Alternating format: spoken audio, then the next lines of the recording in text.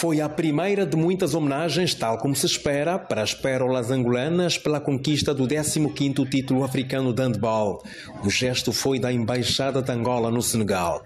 Fora a refeição, o momento foi aproveitado para trocar impressões, descontrair a beira-mar ao som de um ritmo típico desta região, executado com mestria por três jovens artistas locais.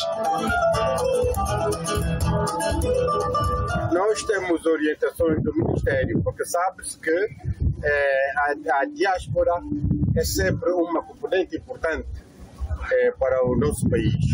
E uma das primeiras missões da missão é trabalhar com a comunidade.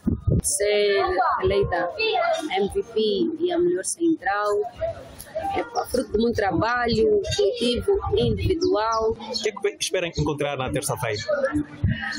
Uma festa. Uh, o país está em festa pela conquista.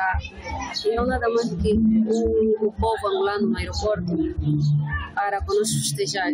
No rosto das atletas e equipe técnica, o sentimento de pura gratidão pelo gesto, agora um pouco mais descontraídas depois da dura missão, as pérolas angolanas deixaram escapar no olhar a vontade de chegar já a casa e partilhar este momento com a nação e com os seus. Até final da tarde de domingo, não havia ainda um programa de recepção em Luanda. Nós vamos chegar a Luanda obviamente teremos uma sessão. Estas meninas são guerreiras, são genuínas, normalmente representam bem Angola. Obviamente que o povo angolano irá recebê-las muito bem. Não sei, sinceramente, qual será o programa de sessão. Eh, não sei, não posso dizer agora, porque ainda não tivemos contato com o programa.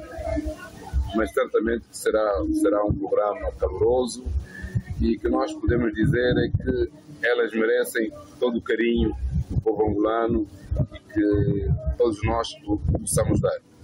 A seleção está a caminho de Istambul, Turquia, onde deve fazer escala em direção a Luanda. A chegada das pérolas angolanas à capital do país está prevista para terça-feira, às 12h30. Antônio Silva, Ayla Canganjo e Nelson do Rosário, TPA, Dakar, no Senegal. Soy el baúl, baúl, baúl.